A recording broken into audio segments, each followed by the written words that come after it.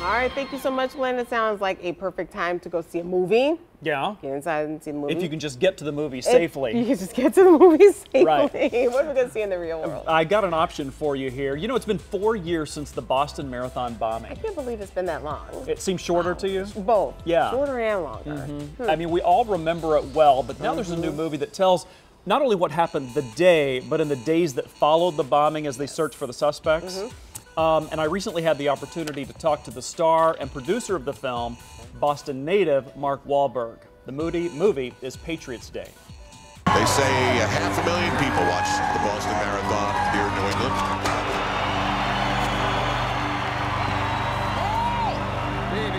Hey, you behaving yourself?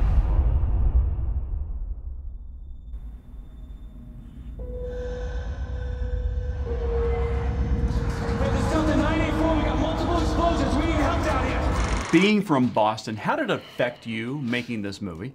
people were very vocal about the, what they expected. Um, you know, A, to get it right, and B, to show them who we are and what Boston Strong means.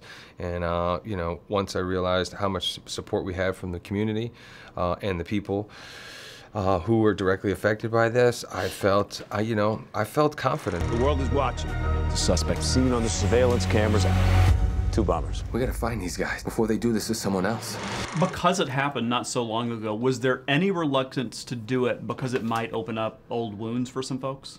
You know, we talked about it, but immediately we both felt like, you know what, it's not soon enough because these things continue to happen and they will continue to happen. But the, the amount of strength and love uh, and hope that came from this situation was, was overwhelmingly positive and inspiring.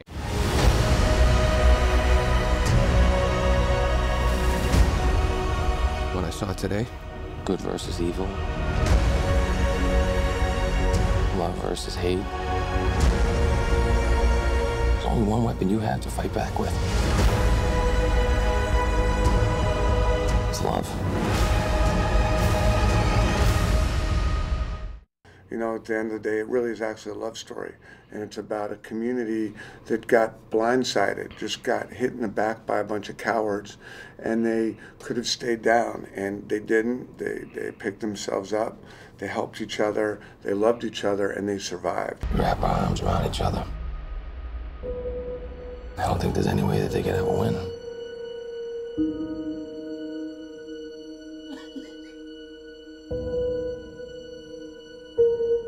Can you imagine that feeling right there? No. Yeah.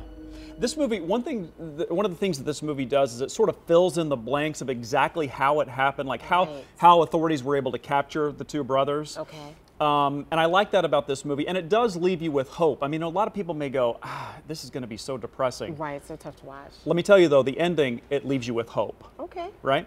Um, one of the great things about doing interviews for this movie is they let me talk to a young couple, both of whom were watching the uh, the Boston Marathon.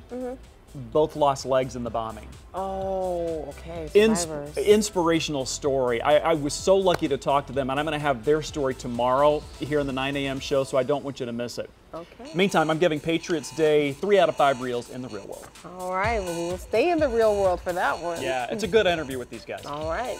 Definitely have our DVRs ready here on the 9 a.m. show.